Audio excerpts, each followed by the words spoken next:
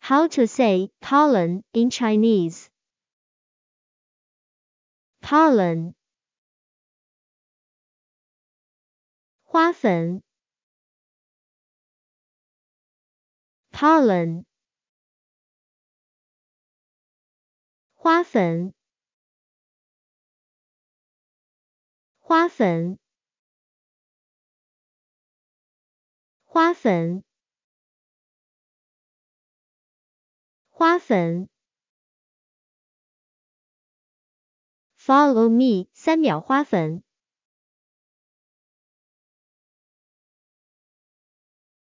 花粉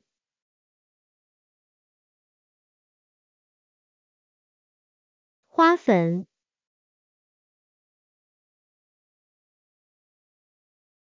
Can you say pollen in Chinese now?